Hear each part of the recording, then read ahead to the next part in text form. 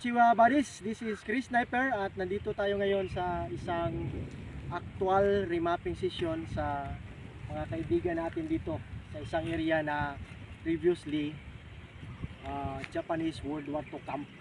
No? Itong area naka malaki, masyadong malaki buddies. No? At ang terrain dito, kung titingnan natin, ayan no, naka-sloping. Very slope, 45 degrees. Sa kabila naman, dito ang malaking sapa. Okay? At itong tinatayuan namin na tinitrenching natin, tinitest dig, ito yung ah, ah, pinaglagyan ng on the spot marker na ipapakita ko rin sa inyo sa video na ito. Kasi ginasag na namin eh, kasi on the spot nga siya. Isang turtle marker.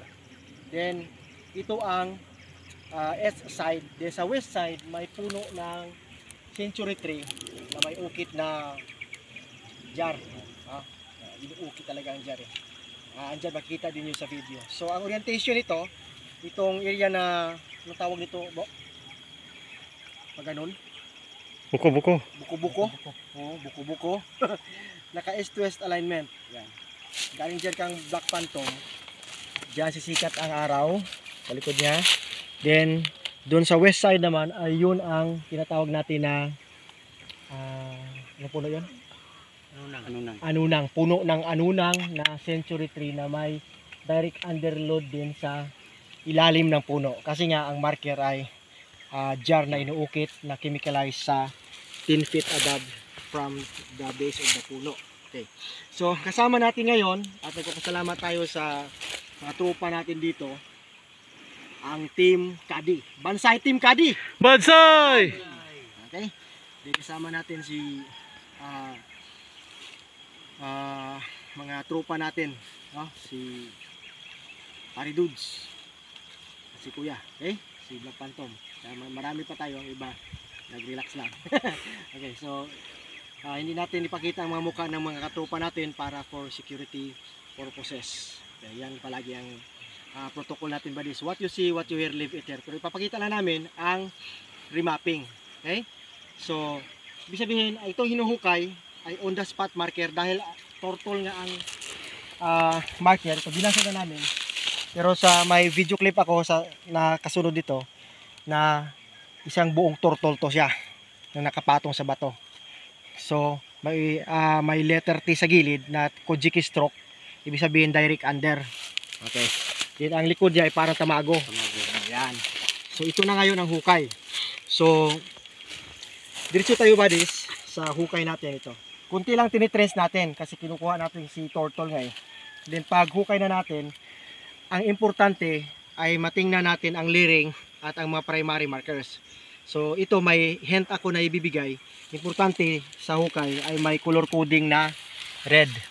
Ito. Tinatawag natin tong red tisa. Okay. Dalawa, tatlo yata to no?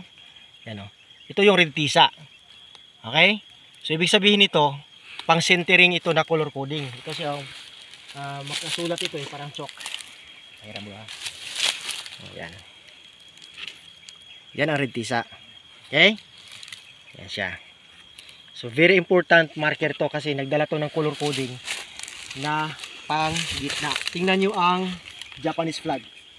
Puti yan, ang background. Sa gitna ay andyan ang the rising sun. Ula.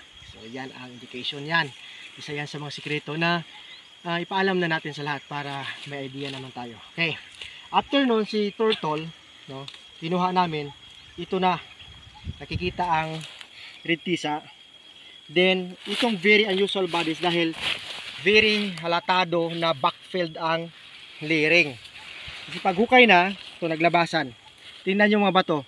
Parang bago lang binasag, then tinambak, then hinukay natin ulit. Okay. Yan, ganito talaga ang purma niya. Mga basag-basag. Ito, may medyo kukuro pa, medyo hard. Yan, yan, shape. Heart shape. Yan. Ito siya, kukuro type. Yan. Makinis. Ito mas mat. So, dito to lahat sa ilalim. So, ibig sabihin, ang paghukay nila dati, ganito ang materialis na buo. Then, ito rin ang binabackfill nila. binabalik sa hukay. Kaya makikita natin na backfield spot talaga siya. Okay?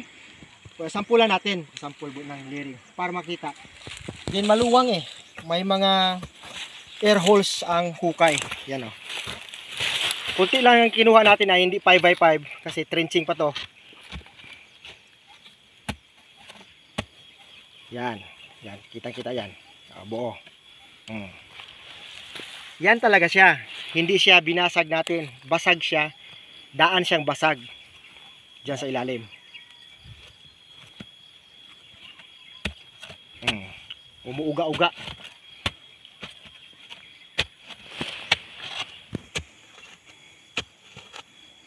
Yan, kunin natin yan para sample. Yan. Kita lang natin bodies yan. Gumagalaw-galaw. Kasi backfill nga ng mga broken stones saka lupa ang nakatabon.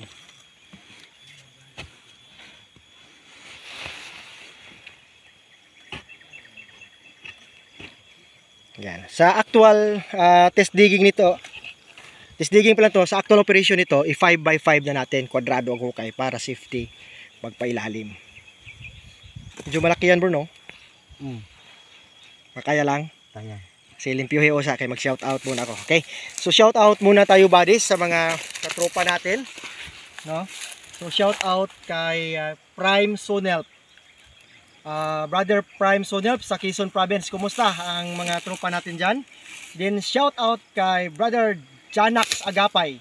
Bro Janax, maraming salamat. Ah, ang katropa natin na diehard sa team natin. Janax Agapay from Mulavi, Sambuanga del Sur. Ah, Siyempre, belated happy birthday ah, Brother Axel, ah, Team Kubi. Kina Sir Jan sa kina Dindin. Team ka, bagtik. Sir, Sir Postigo ka saka kay Ma'am Virginia. Okay. Maraming salamat. Then shout out kay Ilipi Toto. Ilipi Toto, kumusta? From Bulacan. Okay, shout out din sa team Bulacan kina Sir Hector at ah, Ma'am Ann. Okay. At ah, shout out sa Team Marvel sa Kapis. So may operation ng Team Marvel natin sa Kapis. Kumusta kayo dyan bro? Hopefully okay lang ang project na ginagawa ngayon. Okay, then shout out kay Otol Kimso Takida. Then kay paring Chester Salinas. ah, Rex Medalya.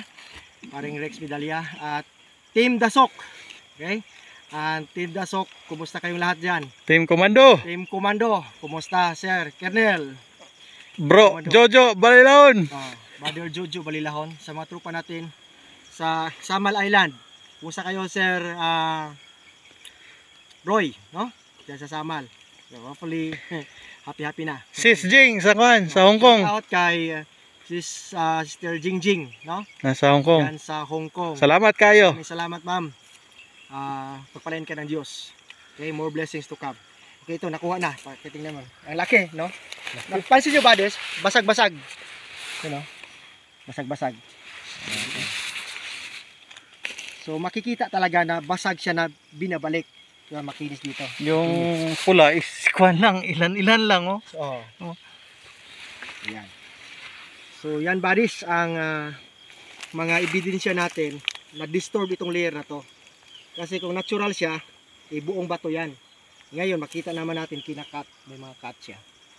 So, ibig sabihin, ang turtle marker na ah, ginagawa nating fulcrum point ang benchmarker is nag-indicate ng direct under deposit. So, below or under na ang item dahil may Kojiki stroke siya na letter T nga ang turtle sa gilid. So, downward. So, ito nang nangyari. Puros talaga uh, basag Kakaiba na kwan, site. Hmm. Actually, may test dig din kami sa kabila. No? Hindi lang namin na vlog na. Pero ito, ah, may kasama itong explanation dyan sa puno kasi may sikreto yung puno yan. At yung isa, yung ah ah, turtle. Ito na ang explanation natin at ang actual na trenching. So hopefully may natutunan kayo buddies and ah, ah, sa gusto magpatulong about remapping services, direct lang kayo tawag kay Black Phantom, no? The mix. So, ito si Black Phantom. Kasama natin ito palagi. Yan. Doon ka. Team Kadi. Salamat. Team Kadi, maraming salamat. Bansay! Bansay! Okay. So, paki-check lang ng cellphone number buddies sa may mga gustong katanungan at mga inquiries, lahat-lahat. Direct lang tawag, no? Text or tawag. Heart na? Wow, sige, limpyo isa bro ha, kaya ato na ko nun. Okay. Ito yung number natin, contact number natin, 09977510-760. Ulitin ko, 09977510-760. Actually, andyan ito sa YouTube channel natin, nakapost din sa page natin, Treasure Hunting Evidences, official Facebook page natin at Chris Sniper Team page. Victory, shout Okay, out. shout out Team Victory. Kumusta kayo? Romeo Base. Oh, Romeo Base. Ro- Romeo, Maraming salamat. salamat. Okay. Ito na ang pinakahintay natin. Lumabas na talaga ang kukuru marker or heart marker. Yan. Heart na heart talaga bro. Kabila. Yan. Okay. Kakaiba. Kakaiba talaga. Basag-basag na heart. May kahoy? Ano siya? Palanas. Palanas no? Ay batong buhi nga gil, gibutang. Oo. Okay, so heart na heart siya badis yan oh. Okay. Ayan. Bato kahoy. Mm. Heart yun. So ito yung kukuro number. Lahit siya nga dig spot bro. Mm, kakaiba to. So ibig sabihin ng kukuro marker, wealth undernet or wealth under. Salamat sa security team natin. Security team, maraming salamat. Yun yung mga ano natin, mga tropa. Okay. Okay, dito. Okay. Okay, so maraming salamat sa Team Kadi at maraming salamat sa mga subscribers at mga followers natin. Then belated Happy New Year, no? belated na kasi ito na January pa man, oh. Oh, 2024 na tayo. Sa mga nag-success, congratulations. Then sa mga hindi pa nakakuha pero nagpatuloy, ay magpatuloy lang. Sipag at tiyaga, no? Patience and perseverance. Then uh, lastly, uh, mag-share tayo ng knowledge. Magtulungan tayo ng mga treasure hunter dito sa buong Pilipinas para may mga ideas tayo sa actual uh, safety protocol at safety procedure sa operation para everybody happy. Free lang, free lang itong kuan yung mga YouTube. Oh, so yung YouTube videos natin free yan, mapanood nyo. May mga lesson ako dyan, may mga lecture. Yan ang sinishare namin na libre. No? Sa remapping, siyempre, remapping services, may uh, kay Black Plantum na kayong magtanong sa mga pamamaraan natin. Kasi we are a private group, we are a private person. No? So yun na, buddies. And hopefully this year to 2024 ay marami pang mga uh, team na makaretrieve ng mga Japanese and Korean hidden uh, loaded buried items dito sa Pilipinas. Okay, thank you for watching and once again, this is Chris Sniper. Kasama natin si Black Phantom, ang security team natin, ang Team Kadi. Bansay Team Kadi! Badsay, salamat, salamat. Thank you! Sister, sister Jingjing, salamat. Badsay, badsay.